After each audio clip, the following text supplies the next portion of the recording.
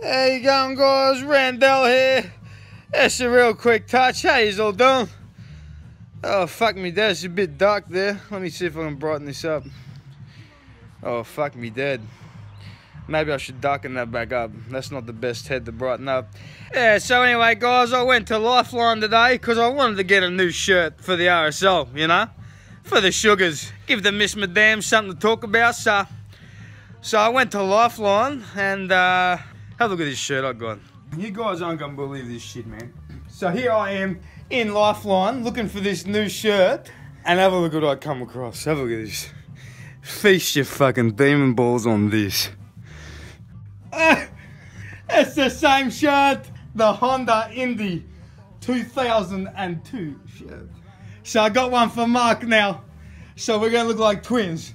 A little bit of a sweat mark on the inside, a little bit of yellow colouring. Obviously, someone had a good time at Honda Indy, but that's what you want. Oh man, don't get much better. But in fact, it does. It's a Hawaiian Honda Indy shirt. Fucking jackpot. Have a look at that. Man, you try not talking to this bloke when he walks into the RSL. anyway, guys, like I said, that was all. Quick touch. Our catch is on the other side.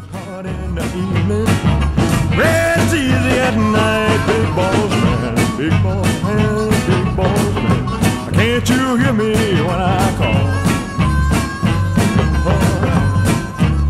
I said you ain't so big, you just tall, that's all.